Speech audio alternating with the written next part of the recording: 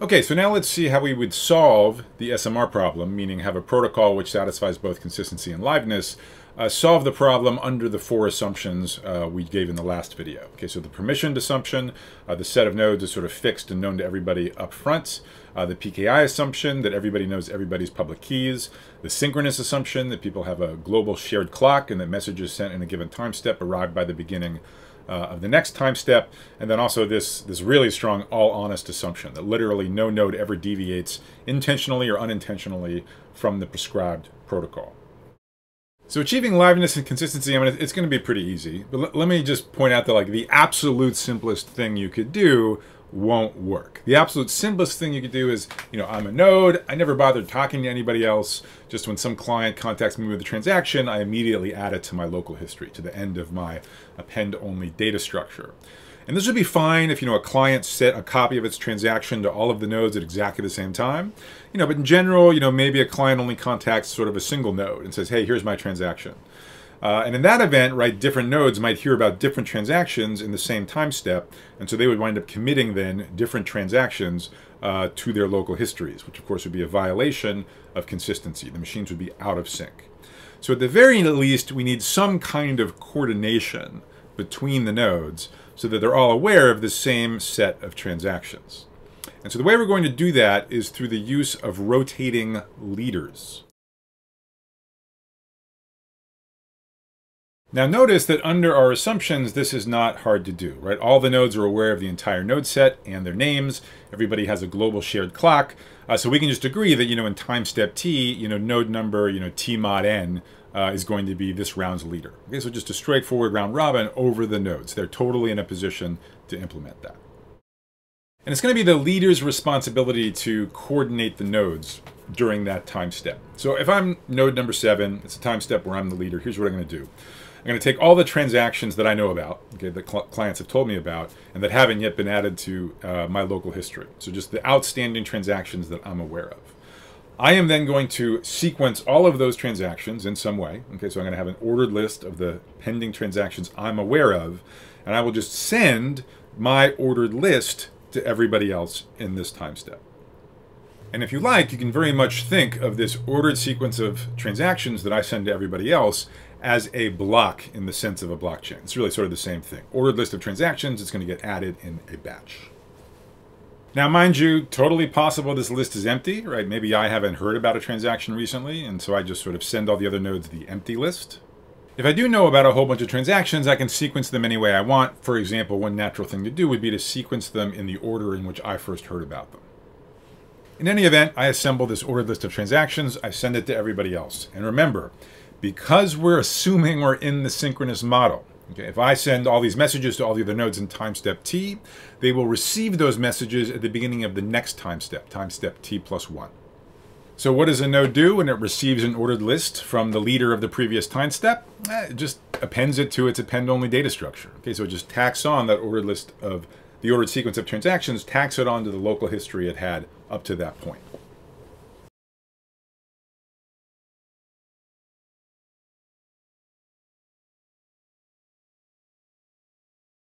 And so that's it. That's the whole protocol, right? So the code that a node is running is literally just, it's doing two things. It's listening for the most recently broadcast ordered list of transactions by the previous time steps leader. And when it receives it, it tacks it onto the end of its uh, local history. And then secondly, it's keeping track of whether or not it's currently the leader. And for the time steps where it is the leader, it just assembles this order sequence of transactions in some way uh, of, of the ones that it knows about and broadcasts that to everybody else. And under our assumptions, this very simple uh, sort of rotating leader protocol does satisfy everything we want. It satisfies both consistency and liveness. So let's just talk through those two properties one by one. So first of all, consistency. Well, notice that in this protocol, all the nodes will operate completely in lockstep. Every time step, you know, time step T, everybody, everybody's going to be hearing about the exact same ordered list that was sent by last time step's leader, the leader of time step T minus one. All the nodes hear that exactly the same list at the beginning of time step T, so they're all going to be adding exactly the same uh, ordered list of transactions to the end of their local histories. So by induction, right, they all start with a common empty history. Every, every time step they add exactly the same thing. So forevermore, they will always have identical local histories. How about liveness? So suppose a client submits a transaction to, let's just say one of the nodes, node number seven. Well, it might take a while uh, to get added to everybody's local histories, but you know, at some point, uh, it will be node number seven's turn to be the leader. And at that point, uh, that transaction will be one of the outstanding ones it knows about. It'll include that transaction in its ordered list, and then in the next time step, all of the nodes will add that ordered list to their local histories. So in other words, within n time steps, okay, long enough so that the node you sent the transaction to is guaranteed to become a leader, within n time steps, a submitted transaction will in fact be added to everybody's local histories. And that's liveness.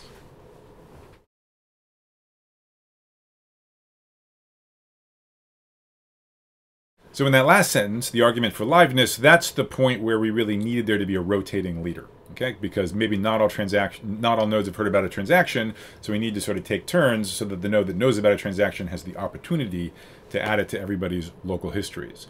You'll note it's not like we needed to do round robin. That's a very natural way to do it.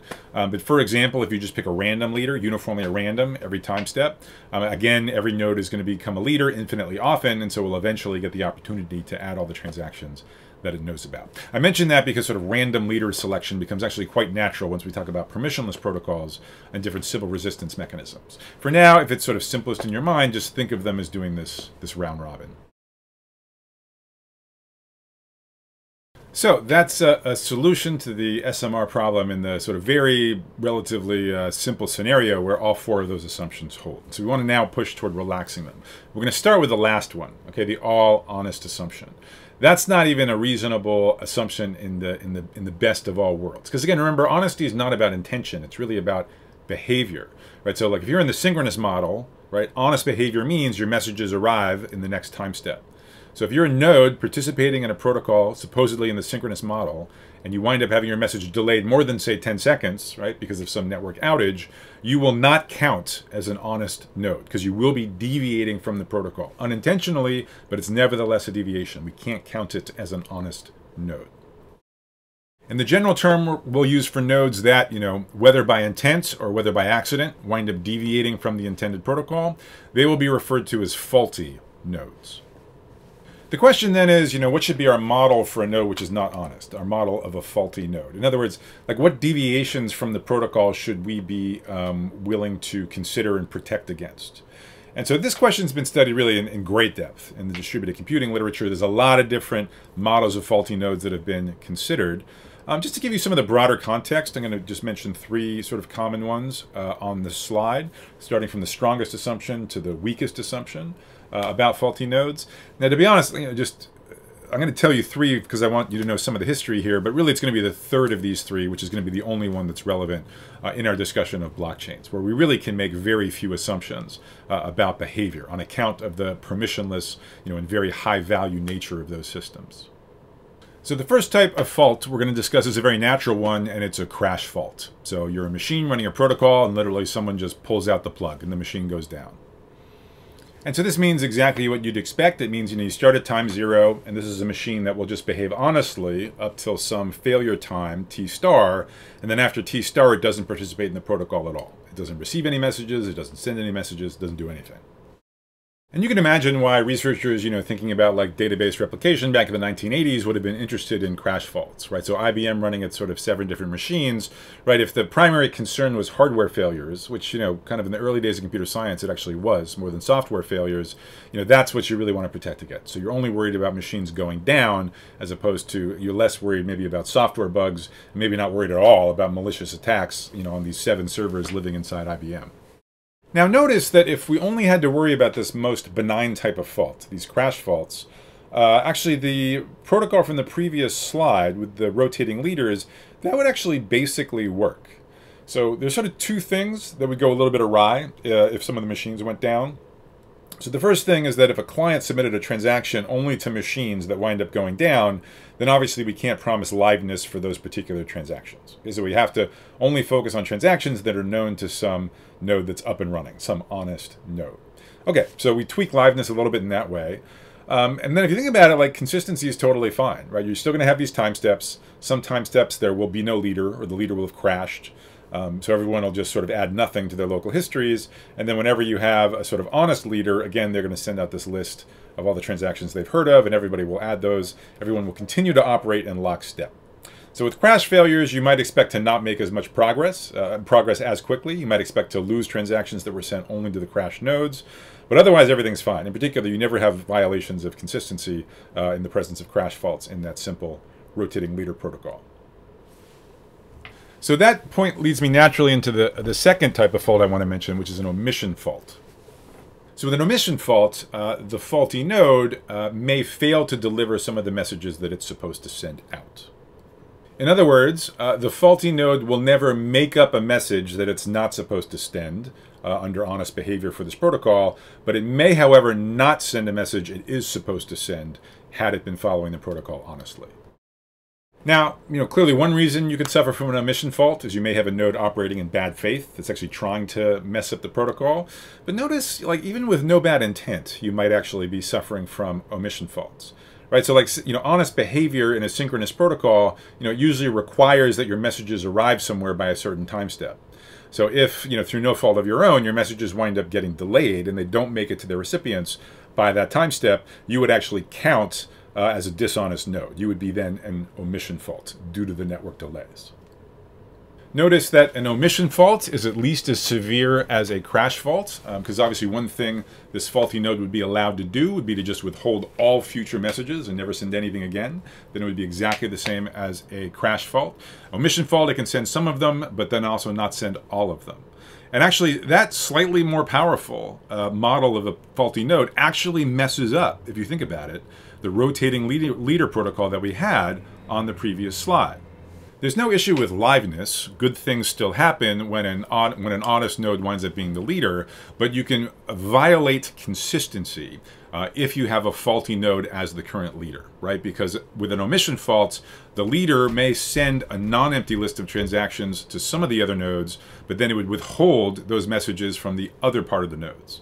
So half the nodes would be getting a non-empty set of transactions, half the nodes would be getting nothing, and they would then commit different things to the ends of their local histories. Half of them would add nothing to their local histories, half of them would add a non-empty uh, set of transactions. And that's an immediate violation of consistency. The histories are not the same at that point.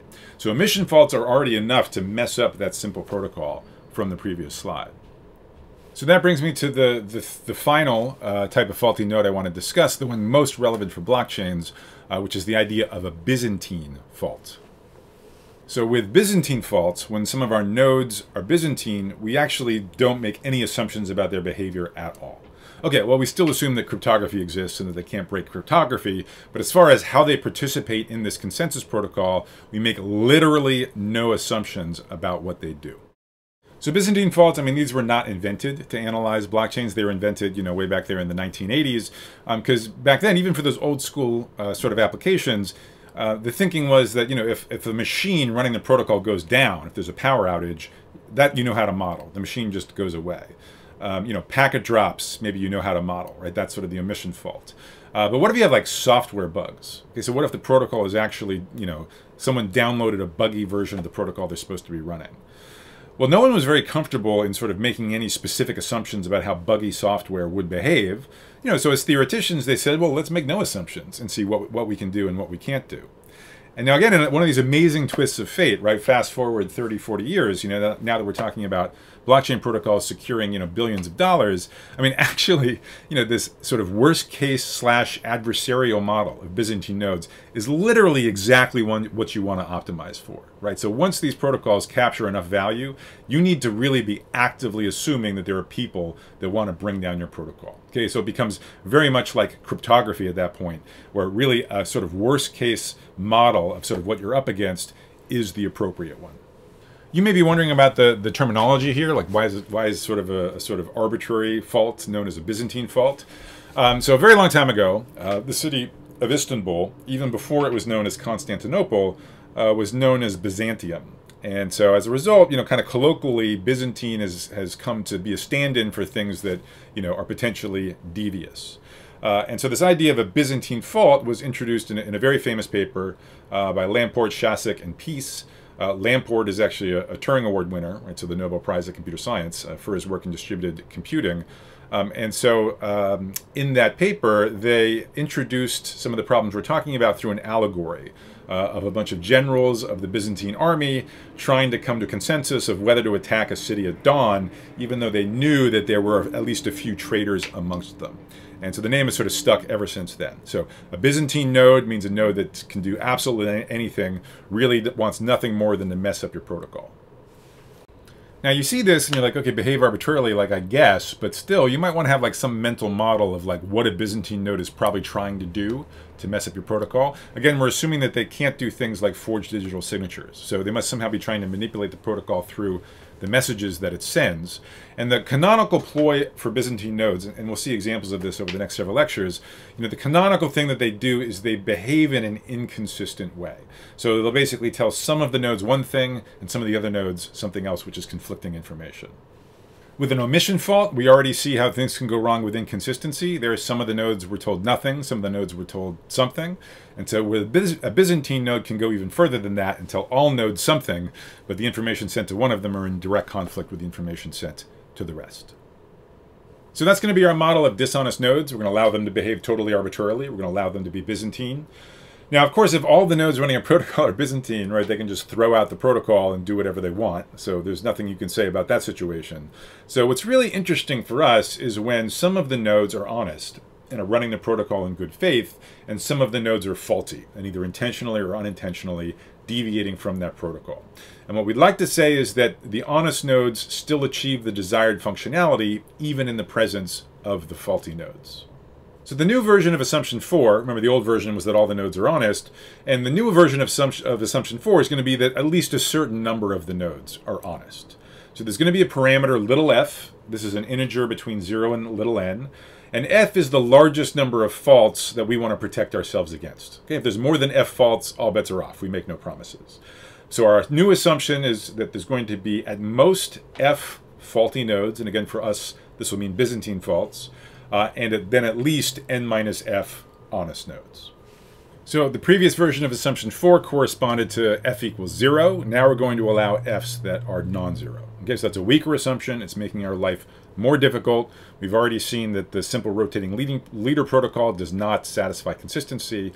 So now the question is, can we have a sort of new, maybe more complicated uh, protocol that solves the SMR problem, even in the presence of up to f Byzantine faults? Now, one of the aspects that makes this question difficult is that, you know, while we know up front a bound on the number of Byzantine nodes, maybe there's the most 10 of them or whatever, we are not going to know in advance which 10 nodes are the Byzantine ones. Right? If we did, everything would be easy, right? All of the honest nodes could literally just ignore any of the messages involving the Byzantine nodes, pretend they don't exist, and just run the protocol amongst themselves as if they were all honest. So what makes it tricky is like you know there's some Byzantine nodes out there and you don't know exactly uh, who they are. We will be assuming a static set of Byzantine nodes. So basically, the, before the protocol ever begins, uh, some subset of at most F nodes are designated as Byzantine. Okay, and the protocol doesn't know which ones it is, but that set will remain the same throughout the entire execution uh, of the protocol. Okay, so now it seems like it's back to the drawing board, right? We did solve the SMR problem in the case of all honest nodes, which in our new terminology, f equals zero. But we also saw that once f equals 1, that protocol no longer works. So now we have to go back and say, in the presence of faults with a non-zero little f, is there a protocol that satisfies both consistency and liveness? As we'll see, the answer is yes. Now at a high level, we're going to stick with very much the same approach uh, that we had in our simple protocol. Namely, we're going to use rotating leaders. So for concreteness, you know, go ahead and think about um, the leaders taking turns round robin. Okay, so time step one, node number one is the leader, time step two, node two is the leader, and so on. Now, presumably in time steps where the leader happens to be an honest node, that's presumably not the, the hard case. We're really worried about the time steps in which the leader winds up being dishonest, winds up being Byzantine. And in particular, you know, like in the example, we're worried about the honest nodes getting tricked into inconsistency because of conflicting messages sent out a Byzantine leader. So that's the hard case that we have to deal with. So what we're going to do next is we're going to define a subroutine, okay, the Byzantine broadcast problem, which is a famous single shot consensus problem in its own right.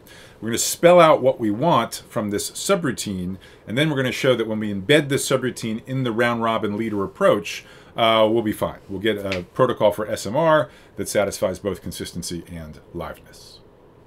All right, so the setup is we're going to have the same four assumptions as before. Uh, we're going to be permissioned, we're going to have PKI, we're going to be in the synchronous model, we'll have some bound little f on the number of Byzantine nodes.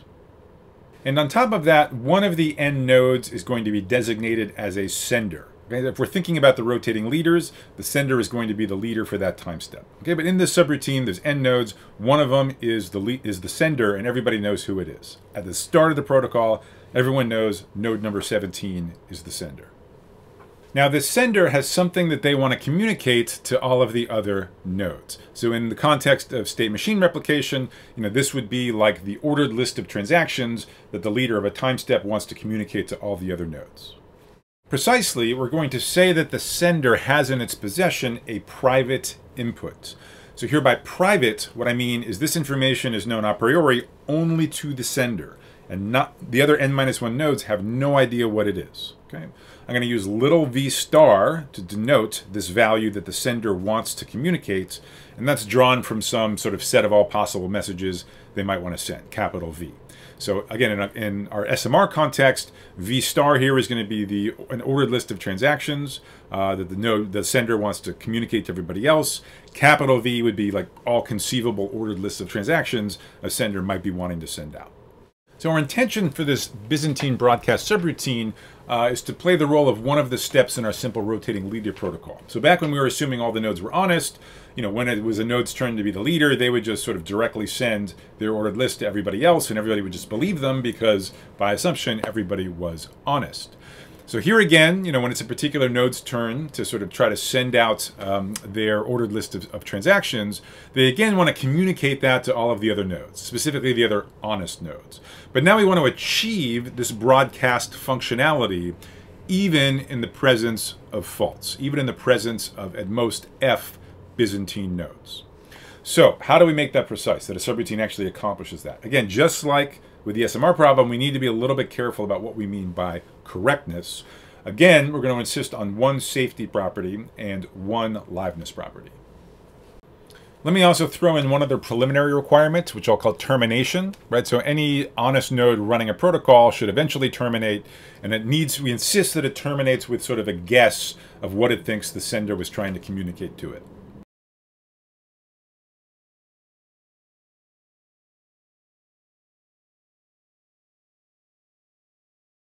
Our next goal is going to be our safety property, and here it's going to be called agreement. So agreement's a safety property. It's asserting that some bad thing never happens. And for us, the bad thing we want to always avoid is we want to avoid the honest nodes getting confused and outputting inconsistent guesses about what it is that the sender was trying to send them.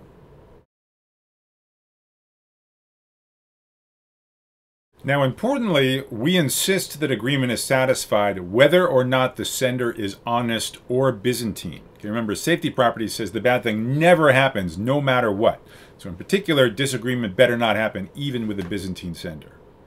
Finally, we have our liveness type condition, which uh, here is going to be called validity. So here we're going to say, in the event that the sender happens to be an honest node, we will require that its private input is indeed successfully communicated to all of the other honest nodes. So by agreement, we already know that the honest nodes output the same thing.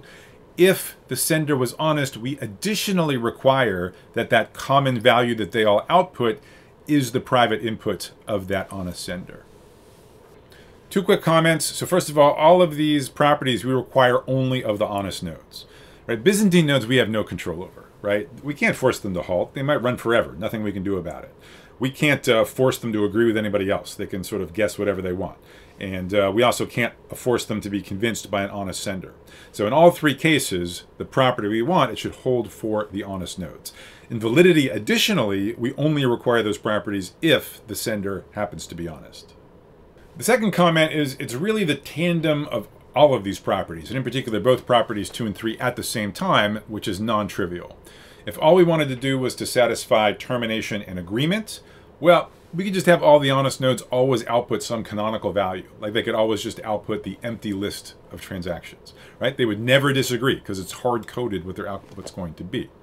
If all we wanted to do was satisfy termination and validity, um, that would also be easy. Basically, all of the nodes could just you know trust that the sender was honest and just output whatever they told them. Again, you're going to be a, get a violation of agreement uh, in the case that you have a dishonest sender. But this trivial protocol where you just sort of believe the sender does satisfy both termination and validity. And so that's the Byzantine broadcast problem. This is how we talk about achieving broadcast functionality even in the presence of Byzantine faults. It should be the case that the nodes always, the honest nodes always come to agreement, and moreover, with an honest sender, their private input is accurately communicated to all of the honest nodes.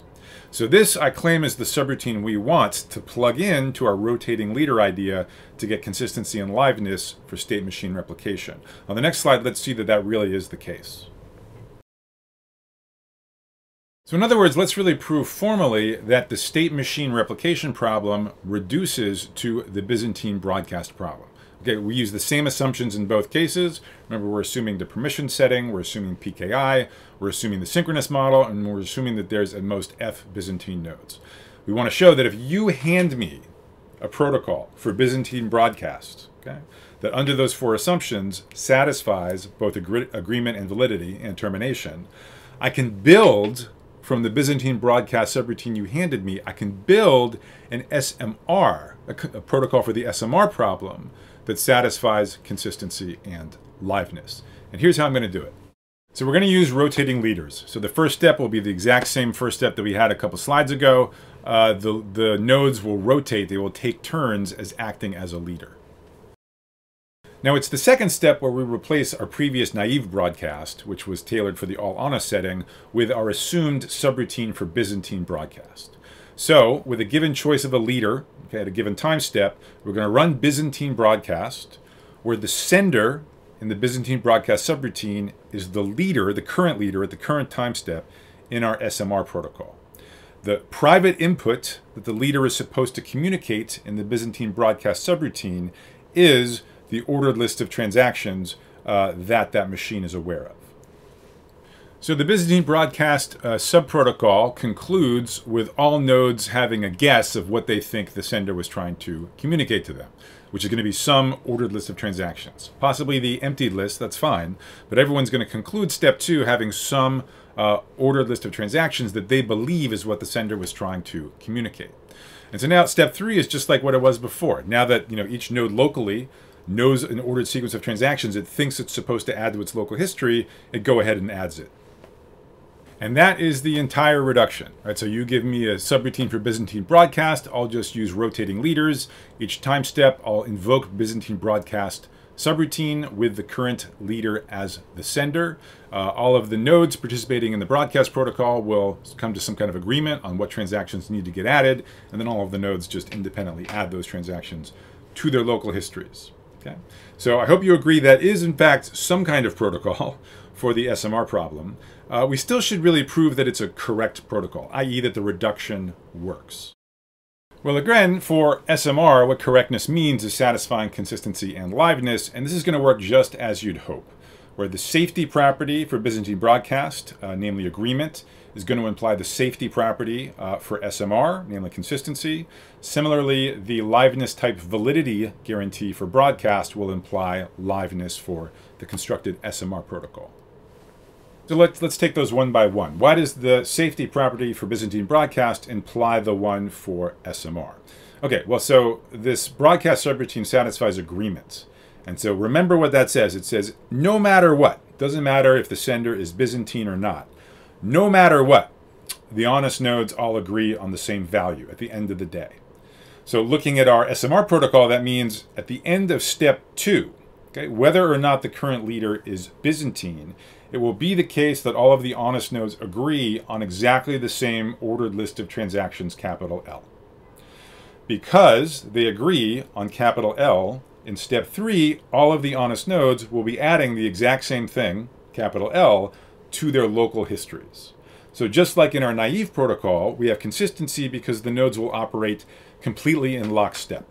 Every single time step, they'll be adding exactly the same new list of transactions to their uh, append-only data structure so far. So again, by induction, they all start with the empty history. Every time step, they add the same thing, so their histories are always exactly the same. And that's SMR consistency.